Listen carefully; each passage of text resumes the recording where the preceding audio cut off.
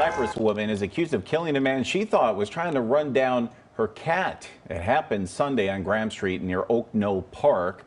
Hannah Esser is now charged with murder and is being held on $1 million bail. Orange County prosecutors say she first accused Louis Victor of trying to run over her cat. Then they both argued outside of their cars.